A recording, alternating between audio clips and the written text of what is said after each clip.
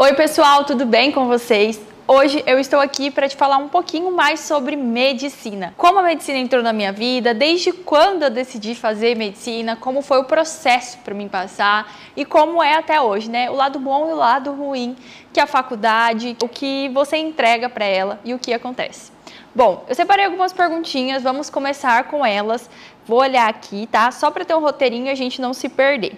Por que escolhi a medicina? Bom, a medicina ela entrou na minha vida desde criança, desde muito nova, tipo, criancinha mesmo. Eu sempre sonhava e falava, ah, vou ser cardiologista, vou colocar coraçãozinho no coração, estrelinha, coisa de criança, né, bem lúdica. E com o passar do tempo, essa paixão foi amadurecendo dentro de mim. Com 13, 14 anos, já tinha decidido no meu coração que eu iria fazer medicina. Dentro da minha família não tem médicos, tipo assim, a geração de médicos é a minha geração. O primeiro médico formado foi meu primo, depois minha irmã. Agora eu e meu irmão. Então, tipo assim, meu pai, minha mãe, nada, ninguém é da área da saúde. Então, foi identidade mesmo com o curso. E aí, com a adolescência, chegou, veio o Enem, eu sou da época do Enem, veio o Enem, prestei Enem, primeiro, segundo e terceiro ano. Vi que eu teria que estudar muito se eu quisesse passar no vestibular e foi isso que aconteceu. Graças a Deus eu tive a oportunidade de vir fazer cursinho para poder prestar a prova de vestibular. Realizei três anos de cursinho e aí sim eu fui e passei em medicina. Te falo, gente, que no cursinho foi já realmente, eu falo que todo mundo que faz medicina teria que passar pelo cursinho para você saber realmente se é aquilo que você quer. Porque no cursinho eu permaneci durante três anos, como eu já falei para vocês. No último ano eu cheguei no meu staff. Sério, no meu último ano começou a sair feridas pelo meu corpo, meus amigos já tinham passado, eu achei que eu não ia passar, foi aquele auê. Mas quando, justo na prova, gente, eu sou daqui de Cuiabá, e eu sempre quis passar em Cuiabá. E aí, na minha época, eu prestei prova para o Acre, para Rondônia, para vários estados do Brasil, e eu não passei. E aí, em 2017, tinha a prova aqui em Cuiabá, que é da faculdade Unic, e eu tinha pagado, né, porque essas provas de vestibulares você paga para poder realizar a prova. Realizei a prova, falei, ah, não vou passar, porque, cara, a prova é muito difícil difícil. Sempre julguei a prova aqui de Cuiabá mais difícil que os outros estados. E impressionantemente, quando eu descansei, foi a prova que eu fiz assim que eu falei: "Ah, não vou passar". Eu passei. Então, no primeiro semestre de 2017, eu passei em medicina e comecei esse processo. Te falo, gente, que o cursinho foi essencial para me ensinar a estudar, porque como eu vim do interior, eu morava em Juína e depois vim para Cuiabá fazer cursinho, eu não sabia estudar, eu era totalmente crua. Então eu falo assim, se você quer uma preparação para um curso, qualquer curso, né, gente, medicina, eu acho que tem engenharia, outros cursos, você tem que ter uma preparação de estudo antes. E eu não tinha, porque eu vim do interior. Então, é, fazer cursinho foi muito bom para mim, me ajudou a amadurecer muita coisa na minha cabeça que eu tinha, tipo assim, que eu era totalmente criança. E acredito que foi muito bom bom. E aí em 2017 eu passei na faculdade Unic.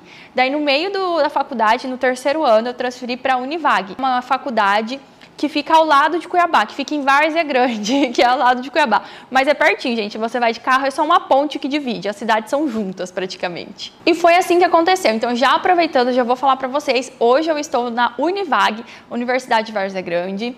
Faço medicina lá, estou no 12º semestre. No último semestre, daqui três meses eu formo. Graças a Deus. Agora eu vou responder mais algumas, né? Aqui respondendo já, eu sou de Juína, mas moro aqui em Cuiabá para fazer a faculdade.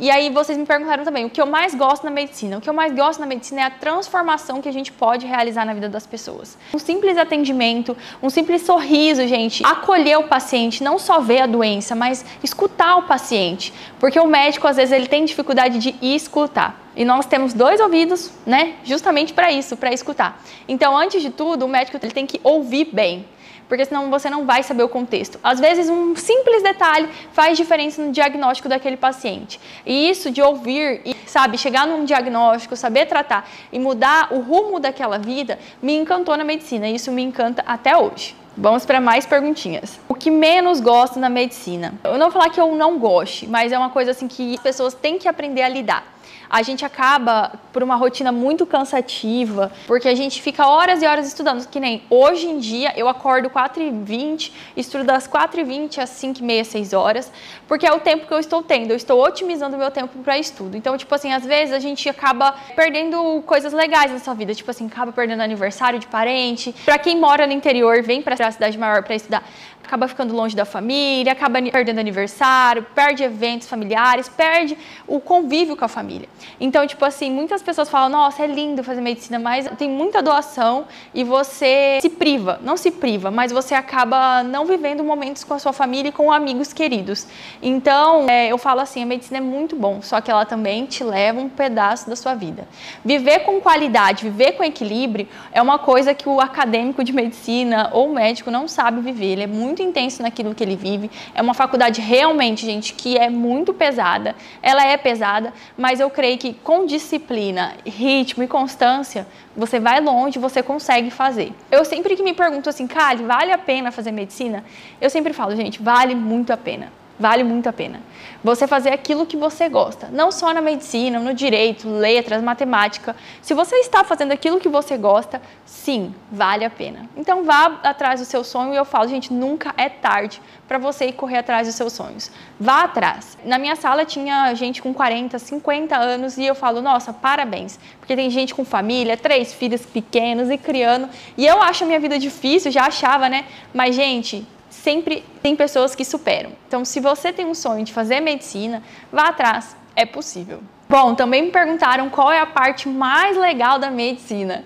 A parte legal, gente, também fora os atendimentos, é o intermédio. Para quem não conhece, né, gente, o intermédio são jogos entre faculdades que ele acontece duas vezes no ano. Aqui onde eu moro tem dois tipos de intermédio: intermédio Pantanal, intermédio CO.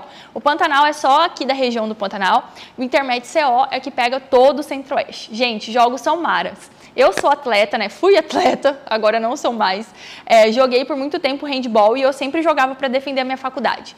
Tenho medalha, a gente ganha copo, ganha camiseta, é muito, muito, muito legal mesmo, sabe? Eu acho que todo mundo tem que participar. E outra coisa, gente, não se pile. Participe de todos os eventos que a faculdade, sabe? Participa mesmo, gente, porque o tempo passa e esse período não volta. Participe de festa. Aqui na minha, minha faculdade tem festa de segunda, que é uma festa para receber os calouros. Participe de calor participe de internet, participe de tudo.